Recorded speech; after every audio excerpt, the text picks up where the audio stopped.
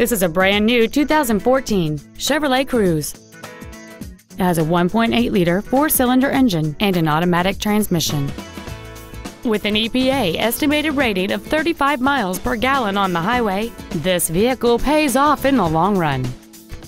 Please call us today for more information on this great vehicle.